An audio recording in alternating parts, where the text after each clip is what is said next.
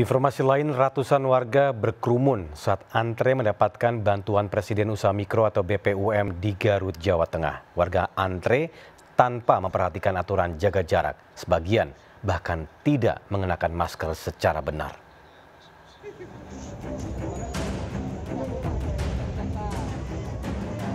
Ratusan warga ini berkerumun tanpa mengindahkan aturan jaga jarak satu sama lain saat antre untuk mendapatkan bantuan Presiden Usaha Mikro atau BPUM sebesar 1,2 juta rupiah di kantor BNI Cabang Garut, Jawa Barat.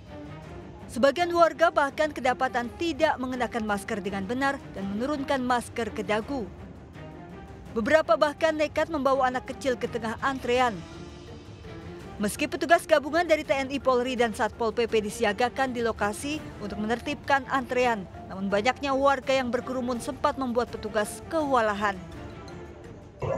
Perhatian masyarakat yang antusiasnya sangat besar terkait bantuan ini menjadi agak susah diatur. Maka itu kadang kami di sini mengatur agar tidak uh, terjadi hal-hal yang tidak diinginkan, baik dalam artian aspek kesehatan maupun aspek keamanan dan lain sebagainya.